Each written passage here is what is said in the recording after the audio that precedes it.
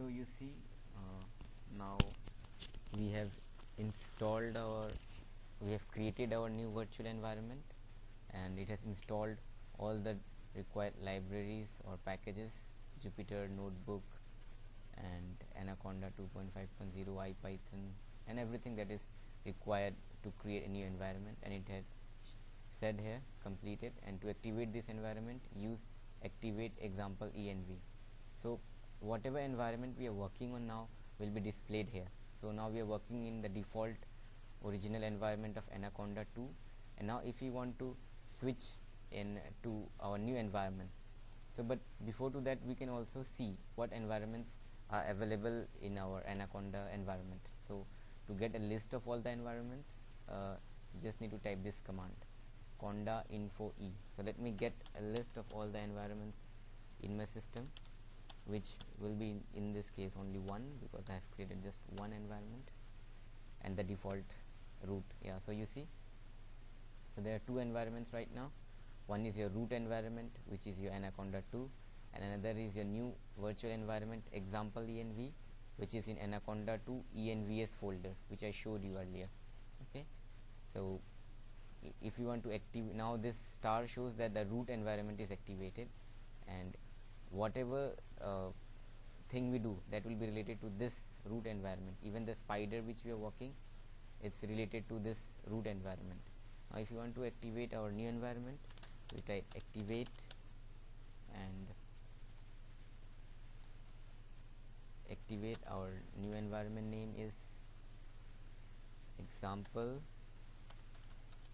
env so once we enter this so you see deactivating environment anaconda 2 activating environment example env and it comes here. Example env is our current environment now. So whatever we want to install or whatever you want to uninstall or you have to do anything that will be related to this example env environment. So you see this Spyder as I showed before was with our default anaconda 2 environment and it has already Theano installed so if I type import Theano okay? It won't show any error because Theano is installed in this environment. But what about this new environment example env Theano is not installed here. So if I type Theano here it will it should show error. So if you want to create a new Spyder uh, script for this environment you just need to type Spyder and it was some command maybe yeah it was new an instance. Because I have already one Spyder running here so I need a new one. So I'll make it here instance okay? And it should create another Spyder environment which is in the example env virtual environment okay? So we'll wait for it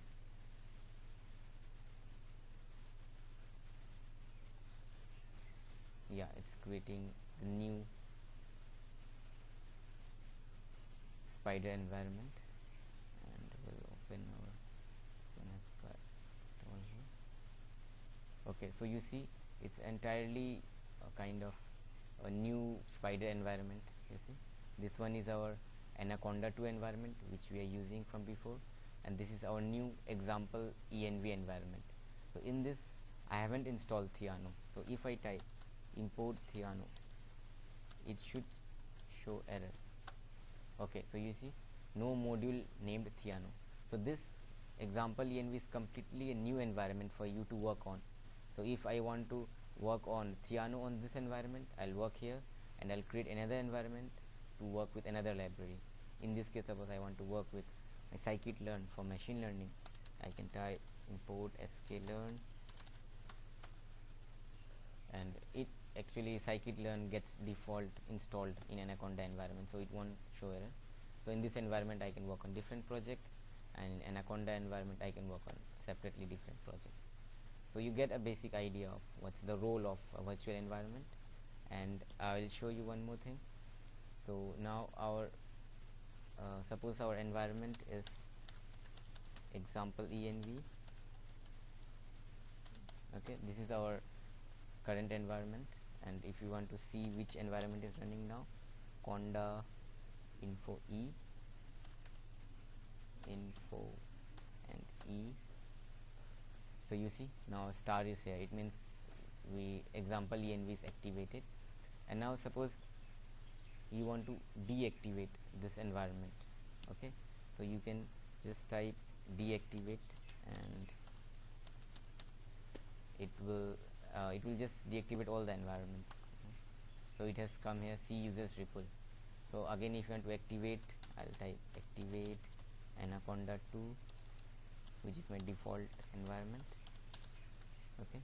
So anaconda 2 environment is activated. If I want to activate keras oh sorry the example env activate example env will activate example env you can see here okay? And if you want again you want to switch to anaconda so activate anaconda. It's caps I guess. Anaconda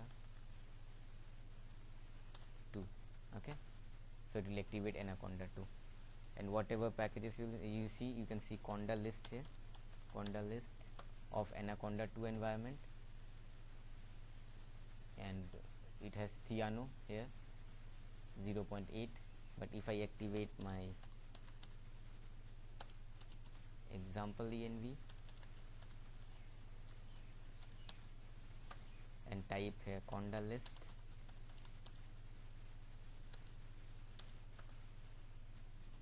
I should not get Theano here because I haven't installed it. Mm, so you see st there are no Theano it's only it's not there in example env okay? And one more thing I'll show you.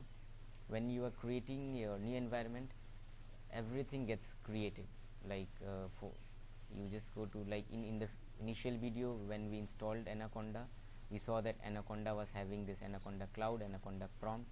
Similar to this everything is created for your example env see anaconda prompt for example env ipython for example env jupyter notebook for example env even Spyder for example env so you can just click here and use the Spyder or use that environment or from here you can from your command prompt you can activate. Or you can go from your start menu and you can select. Either you want to use the Spyder of your default environment anaconda 2 or your Spyder of example env okay? And one more thing in the folder c users which my anaconda 2 is installed here. So this is my default environment and envs will store all the virtual environment. So if I click here you see everything similar to our anaconda environment is created.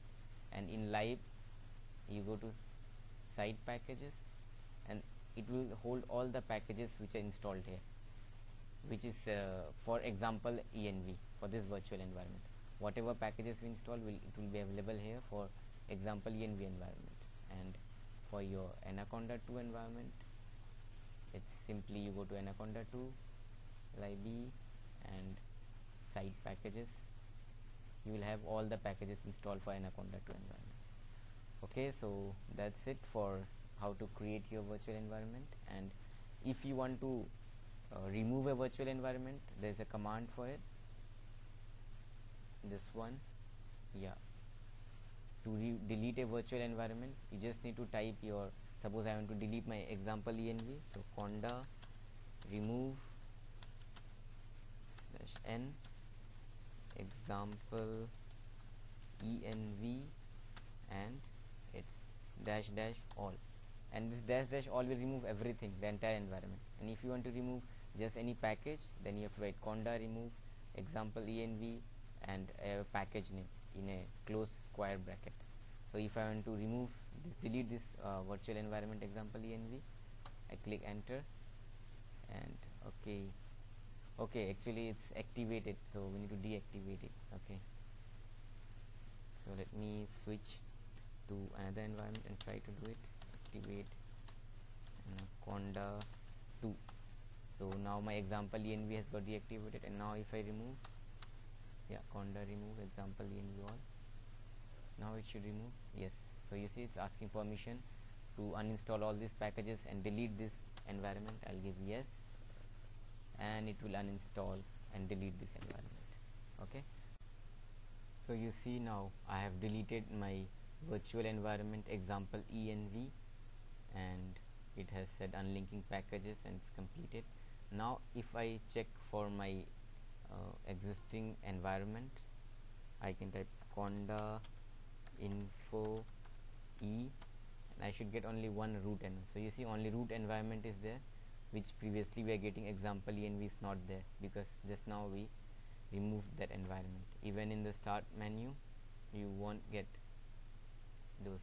So you see only anaconda prompt ipython Spyder. There is no anaconda prompt for example env there is no Spyder for example env so in this way you can you create a new environment you can use that environment or you want to remove you can remove that environment okay? So i hope uh, this should help and you can explore more about this. There's a lot available on net. And thank you